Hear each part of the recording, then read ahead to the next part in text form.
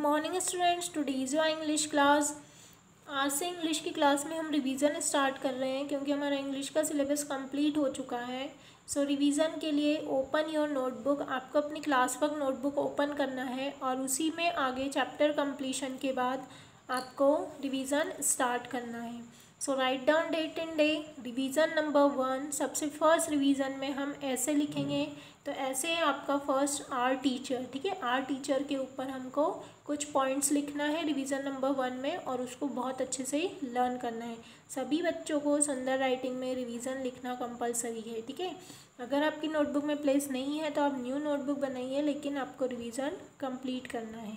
Write down revision number one topic डालेंगे our teacher then उसके बाद ये जो सेंटेंस है, ये मैं आपको पहले ही एक्सप्लेन कर चुकी हूँ। जब भी, जब हमने ये चैप्टर पढ़ा था तो इस वीडियो में तो आपको वन से लेकर यहाँ पर टेन तक कुछ सेंटेंस दिए हैं। पेज नंबर सेवेंटी नाइन है, ये आपकी ग्रामर की बुक का।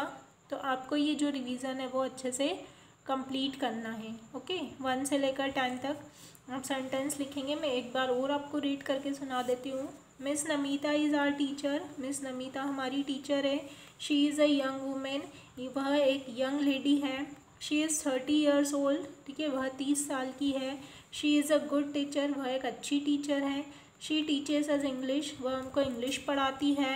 शी लव्स द चिल्ड्रन वह बच्चों से प्यार करती है. द चिल्ड्रन लव्स हर बच्चे भी उनसे प्यार करते हैं.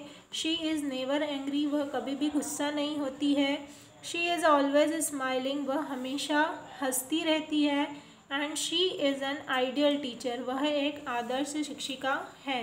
तो ये वन से लेकर टेन तक सेंटेंस आपको अपनी नोटबुक में रिवीजन नंबर वन डाल के लिखना है और उनको बहुत अच्छे से लर्न करना है। सभी बच्चों को रिवीजन लिखना कंपलसरी है ओके सो रिवीजन आप स्टार्ट करेंगे और अच्छे से इसको लर्न करेंगे।